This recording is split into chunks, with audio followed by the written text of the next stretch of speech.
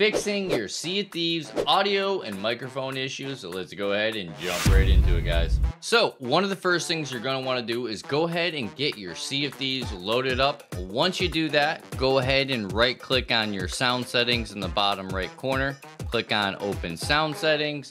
Go down and browse down to where it says app volume and device preferences down here in the bottom middle browse down and then over here on the left hand side you're to see Sea of Thieves go ahead and make sure this is selected to the corresponding device that you want to use. Don't leave this at default. Now do that for your speaker and your microphone. Once you finish that, go ahead and close the window and then go ahead and go into your Xbox app. So go ahead in the top left, click here, click settings, and then you're gonna browse down to the audio tab. Once you get to the audio tab, go to the input device, make sure this is selected to the proper microphone that you picked in the other section, and same for the output device.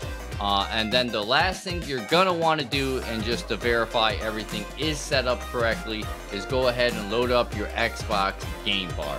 So to do that, go ahead and go to your search bar, click the Xbox game bar, and then this is gonna bring up your Xbox game bar. Once you get into your game bar, click the audio tab right here in the top, and then ensure that everything is selected properly and then you should have sound in Sea of Thieves. The last thing you're going to want to do is go into Sea of Thieves and make sure your sound is actually on.